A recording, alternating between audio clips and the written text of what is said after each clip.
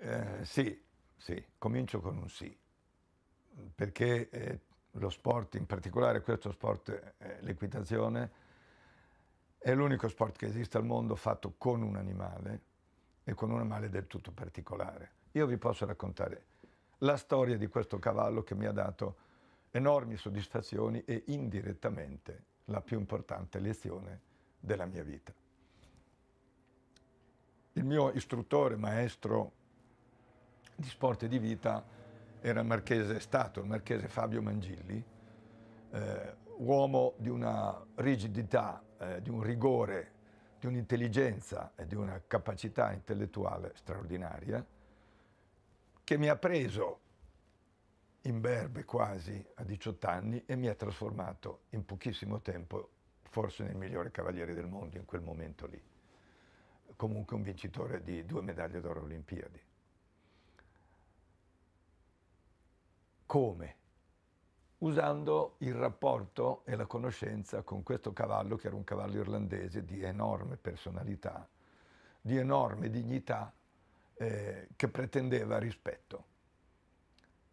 Ci abbiamo messo un po' a convincerlo che si poteva fidare di noi, in particolare di me.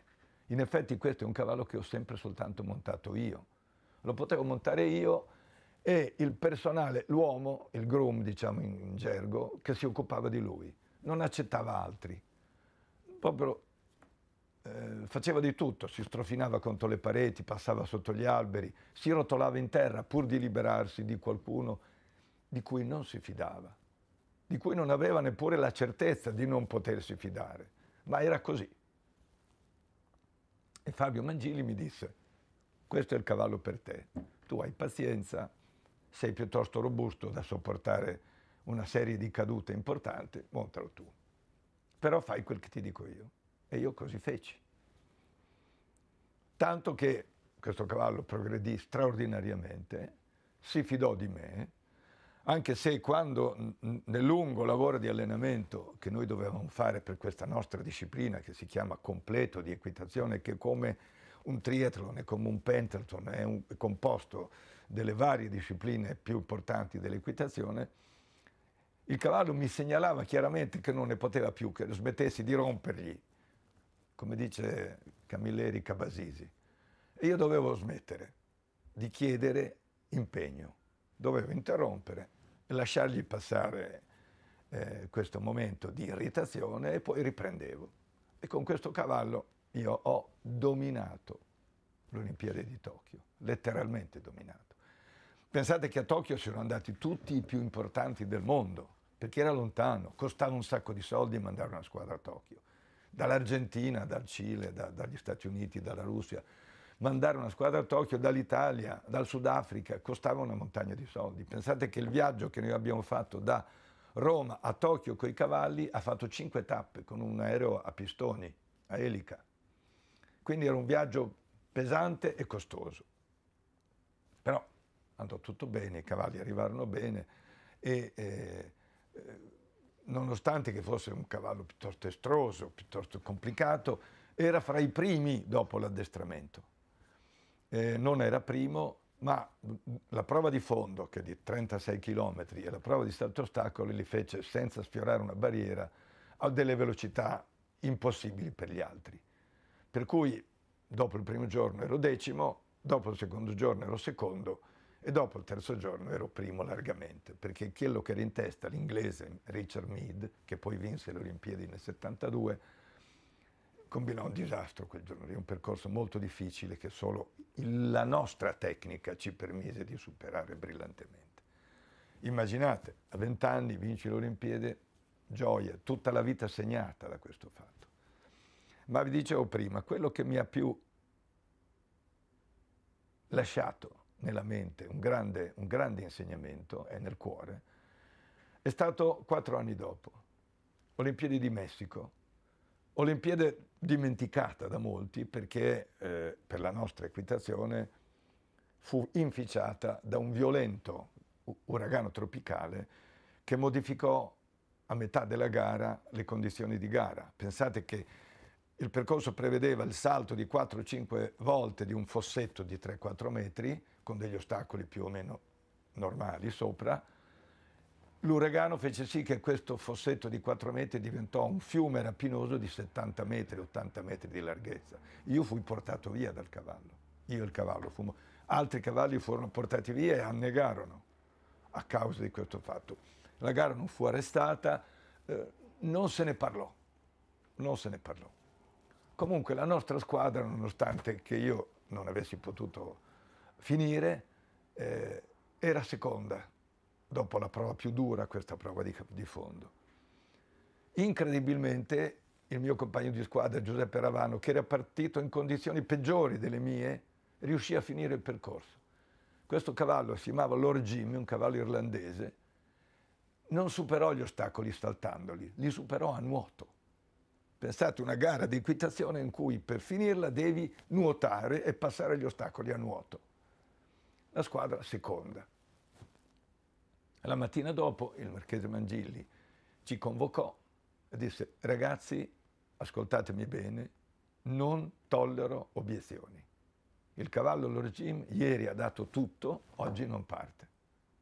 Per un ovvio, naturale e congenito rispetto che noi dobbiamo dare a un compagno di sport che ha dato tutto. Non possiamo chiedergli di fare quest'ultima prova capite, per dei giovani che avevano dopo quattro anni replicato con possibilità di rivincere la medaglia d'oro, un successo così enorme come era stata a Tokyo fu una doccia gelata.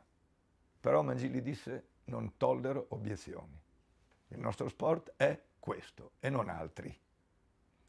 Quindi noi rinunciamo, evidentemente due cavalieri rimasti non facevano squadra, Angioni e Argenton si classificarono bene, ma la squadra non c'era.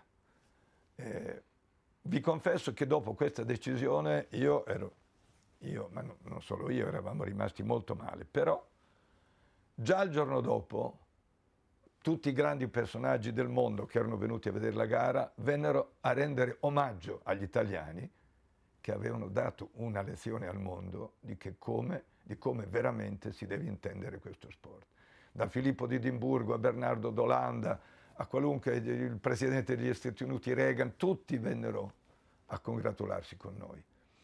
Futuro presidente, allora era, era un grande appassionato di equitazione italiana Reagan, di Caprilli in particolare. La più grande lezione è questa, che dopo tanti anni eh, questa decisione assunta da Mangilli mi insegnò davvero che questo sport è fatto da due atleti e non da uno.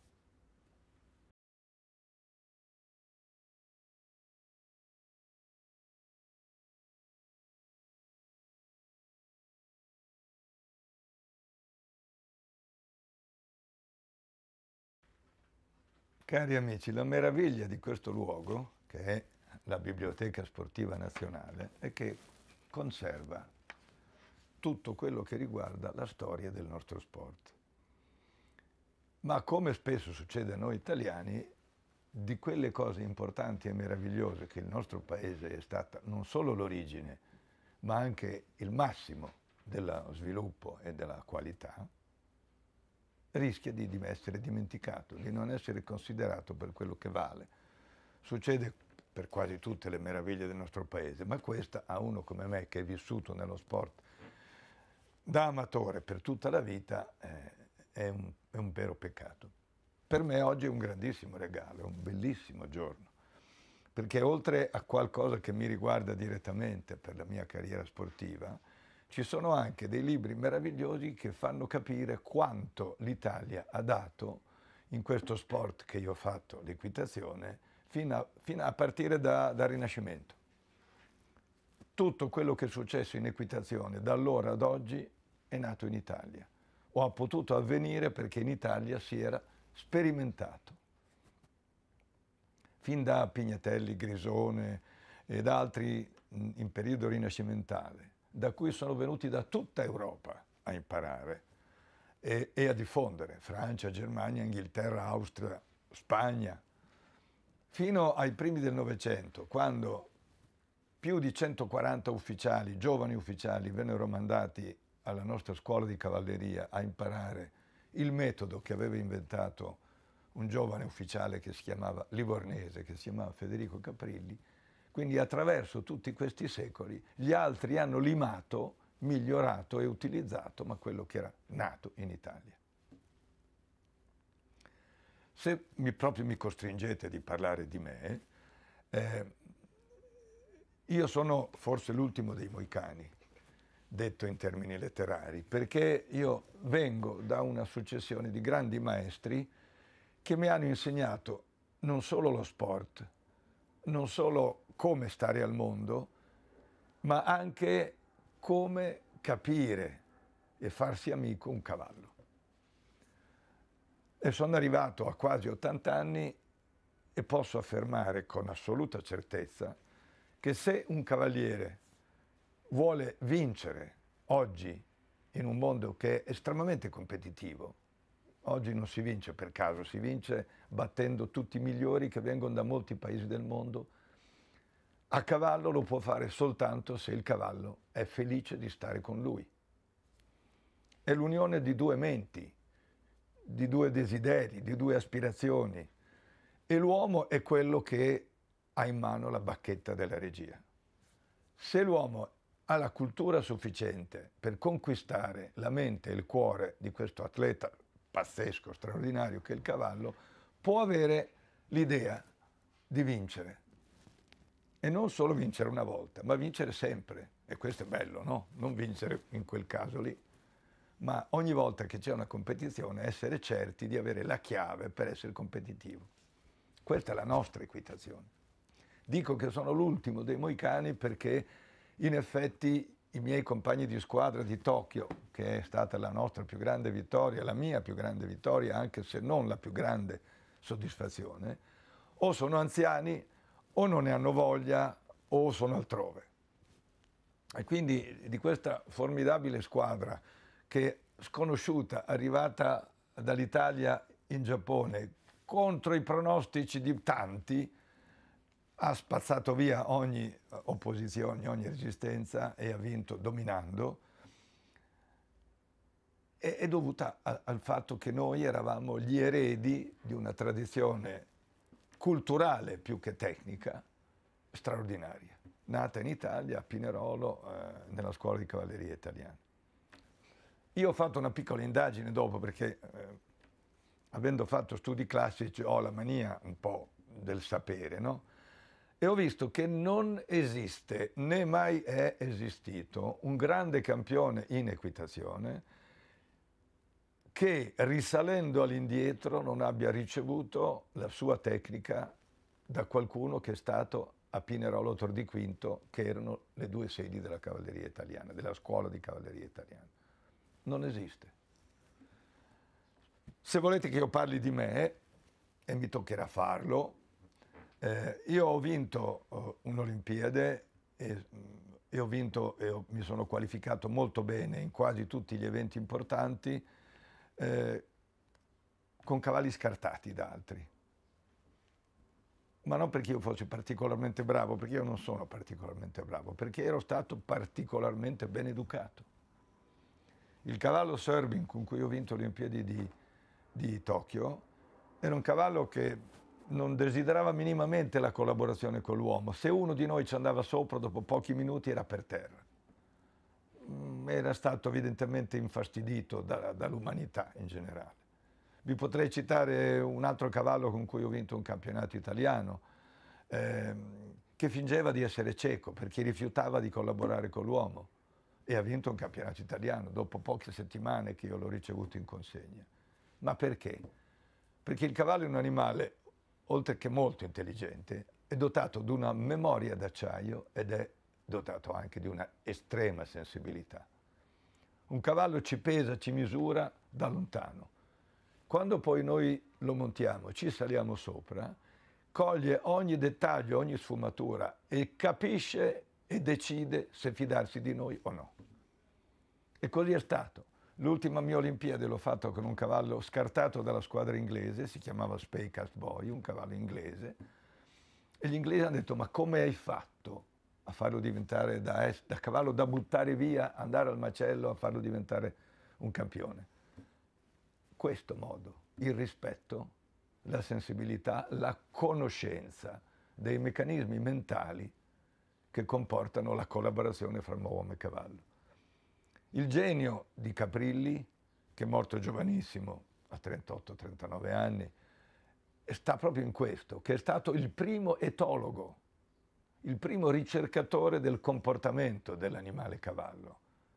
Ed essendo anche un uomo estremamente intelligente e dovendo addestrare dei soldati provenienti da qualunque ceto sociale e quindi non particolarmente conoscenza, a conoscenza del cavallo, doveva inventare un metodo che in poco tempo facesse capire all'uomo come comportarsi col cavallo. E da qui immaginate quello che è successo, vittorie, vittorie, vittorie. Negli anni 20 e negli anni 30 non c'era gare internazionali che gli italiani non vincessero. E quindi fino ad arrivare a, a, alle grandi vittorie del dopoguerra, quando, nonostante che la scuola di cavalleria fosse stata chiusa perché la cavalleria non serviva più, c'erano i carri armati no? al posto della cavalleria, abbiamo continuato a vincere perché i grandi nostri maestri venivano da Pinerolo e da Tor di Quinto, che erano il luogo, oggi la diremo l'università del cavallo. per cui io oramai sono vecchio, per fortuna ho ancora una buona memoria, ho un fisico che mi sostiene, penso che eh, forse qualcosa riuscirò a fare, a tramandare questo enorme patrimonio che mi è capitato addosso incoscientemente. Dico incoscientemente perché quando ho vinto le Olimpiadi di Tokyo la consideravo una gara nella mia ingenuità di ventenne. Poi ho provato altre tre volte a fare le Olimpiadi, non ci sono mai più riuscito. Finalmente sono riuscito dopo vent'anni a fare un'Olimpiade e mi sono piazzato nei primi, eh, meravigliando tutti ma grazie al fatto che il mio istruttore del 1964 è stato anche il tecnico del 1984 a Los Angeles. E quindi questa continuità storica è rimasta a me e io spero di poterla a mia volta distribuire a tutti quelli che vorranno.